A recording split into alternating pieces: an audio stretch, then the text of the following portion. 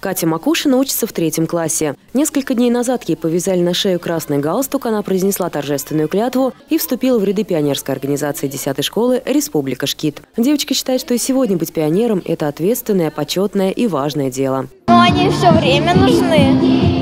Помогать другим, дедушкам, бабушкам, э, ну, подавать другим пример, если кто-то там, например, портит природу, а ты показываешь то, что ее не надо вредить, она, э, природа же тоже живая. Каждый пионер – это неформальный лидер, за которым идут его одноклассники и друзья. Каждый из тех, кто вступает на этот путь, несет ответственность не только за собственное развитие, но и тех, кто идут следом. Я поздравляю вас с Днем Пионерии и желаю вам, желаю вам как можно дольше вот этот свой огонь внутренний, лидерский огонь пронести через всю жизнь – и чтобы вы зажигали собой других людей и вели их за собой. С праздником вас!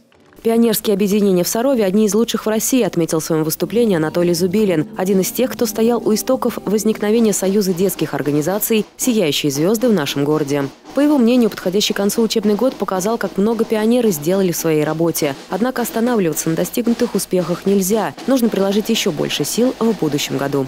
Это год 75-летие победы в Великой Отечественной войне.